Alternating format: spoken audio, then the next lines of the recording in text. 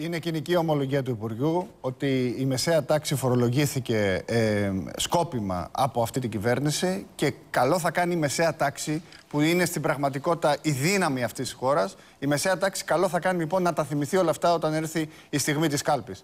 Ε, εγώ, ξέρετε, κύριε Αυτιά, ως ανεξάρτητος μπορώ να λέω τα πράγματα με το όνομά τους.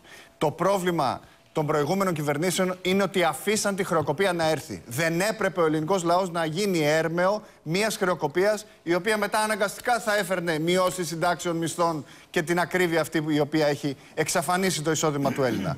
Αλλά αυτή, αυτή η κυβέρνηση είχε τελικά ένα συγκεκριμένο σκοπό. Να ταπεινώσει τον ελληνικό λαό, να τον βάλει να ψηφίζει όχι ώστε να μπορέσει να του το γυρίσει και να τον ταπεινώσει σε ναι και μετά με αυτόν τον τρόπο αφού έχει πια ε, καταπονηθεί και δεν μπορεί να σηκώσει κεφάλι να περάσει όλα τα μέτρα τα οποία ήταν αναγκαία από όλα αυτά τα χρόνια. Υπάρχουν και έκτακτες εισφορές. Αν υπάρχει μέρισμα να δοθούν πίσω οι έκτακτες εισφορές. Αλλιώς δεν είναι έκτακτες.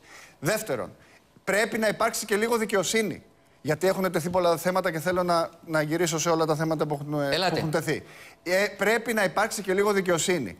Οι άνθρωποι οι οποίοι τηρούν τις δεσμεύσεις τους δεν πρέπει να δουν λίγο μια ανάσα. Φως. Δεν πρέπει να πληρωθεί μία δόση από αυτό το μέρισμα σε όσους έχουν πράσινο δάνειο, σε όσους το τηρούν. Καλή πρόταση. Επιτέλους, δεν πρέπει. Αποδέχεστε τη διανομή μερίσματος Όχι, δεν την αποδέχω. Κύριε, κύριε, δηλαδή. κύριε Τσαγκάρη, εγώ σας λέω το εξής. Ε, δεν, δεν, η κυβέρνηση αποδέχεται ή δεν αποδέχεται. Αλλά ακόμα και αυτό το μέρισμα που δίνει, το δίνει με αδικία. Δεν θα πρέπει δηλαδή να το στυλιτεύσω αυτό. Φυσικά, επειδή λέμε ότι πρέπει να, να πούμε για σε ένα θέμα που αναφερθήκατε εσείς, ότι πρέπει να μείνουμε στην Ευρώπη, δεν πρέπει να πούμε ότι πρέπει να είναι μια νέα Ευρώπη. Ότι αυτή η Ευρώπη πρέπει να αλλάξει θεσμικά, πολιτικά και ως κατεύθυνση. Και να πω και κάτι άλλο. Ολοκληρώστε. Κα, κα, ε, θα ολοκληρώσω. Ελάτε. Ε, θα χρειάζομαι λίγο χρόνο.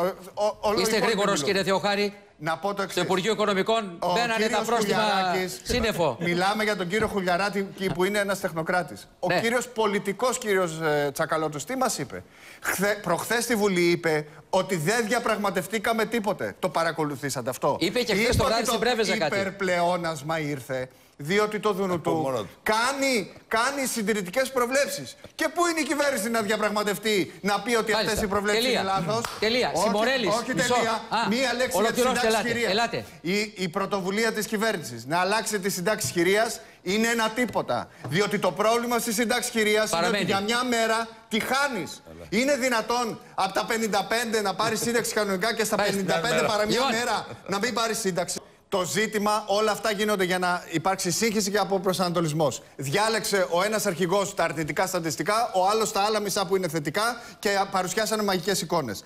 Το πρόβλημα της ανομίας είναι και πρόβλημα φτωχοποίησης. Είδα τον αρχηγό της αστυνομίας. Μειώθηκαν οι μεγάλες ληστείες, πήγαμε στις ληστείες των 5 και 20 ευρώ. Είδα το συνήγορο του πολίτη. Είχαμε πρόβλημα παλιότερα με το ρεύμα, Μάλιστα. τώρα έχουμε με το νερό. Ελάτε. Δώστε μου μισό λεπτό, κύριε Ελάτε. Αυτιά. Είδα ο, τους δημάρχους που βλέπω της Β' Αθηνών και όλοι οι δήμαρχοι λένε ότι έχουν πρόβλημα με φαρμακεία και παντοπολία, δεν φτάνουν τα, ε, τα φαγητά για να τα γεμίζουν τα κοινωνικά... Τέλος πα- χρόνου. πα- όχι, δώστε μου 30 δευτερόλεπτα. Είπε η Λίνα προηγουμένως για το άρθρο του Σπίγκελ. Το άρθρο του Σπίγκελ λέει και κάτι άλλο. 12% στη Γερμανία ακριβότερο το καλάθι της νοικοκυράς, 117% περι- Μάλιστα. μεγαλύτερη μισθή. Ο- Όλα αυτά γίνονται για να αποπροσανατολιστεί ο κόσμος. Ζούμε ένα κακό εφιάλτη. Διάλειμμα. ώστε τα μνημόνια με το success story Το να μέρισμα, κύριε φύγουν Θεοχάρη, να το δώσουμε ή γίνοντας δεν το μόνο. δώσουμε; Το μέρισμα να το θα δώσουμε έχουμε ή να το μόνιμα δώσουμε; μνημόνια μέχρι Πάμε το σε 60. διάλειμμα. Μέχρι το 60 με τη- Λοιπόν,